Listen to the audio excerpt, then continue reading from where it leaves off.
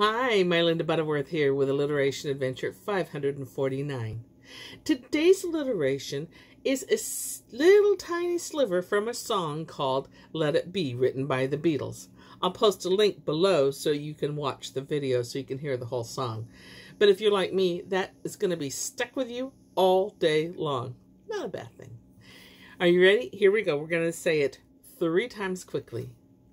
Whisper words of wisdom, whisper words of wisdom, whisper words of wisdom. Did you get it? I'm sure you did. Let's do it again, just a little slower. Whisper words of wisdom.